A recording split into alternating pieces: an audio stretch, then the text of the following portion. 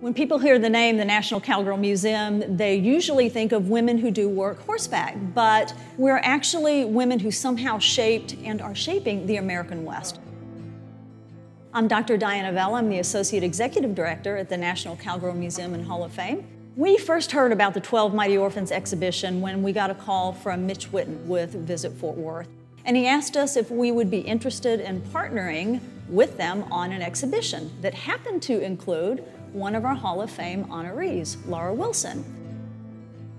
Curating this exhibition was different largely because of the compressed timeline that we had of five weeks. The second element that made this a little bit different was it was an exercise in combining the work of an honoree with the film and also with props in a way that made sense to the visitor and made it engaging and interesting. My favorite photographs are those that Wilson took that also has the film crew. You can see the cameras or other crew there, and it really lets you see what Laura saw when she was there and kind of allows you to feel like you were there too behind the scenes.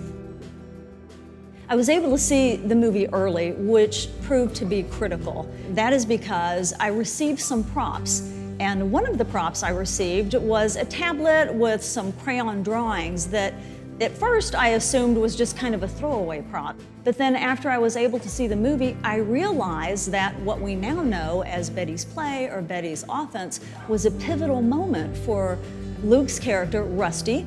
Another example of that would be the whiskey bottles that we got. You might think that perhaps it was just on a shelf or on a table, but then when you see the film, you recognize that no, those, those whiskey bottles actually were pretty central to Doc Hall, played by Martin Sheen, his character. The excitement of having not only our Hall of Fame honoree Laura Wilson here, but then her son was in the movie and she was shooting things behind the scenes, and so many things got filmed here in Fort Worth. We just feel like this is a really special exhibition for us and also for all of Fort Worth.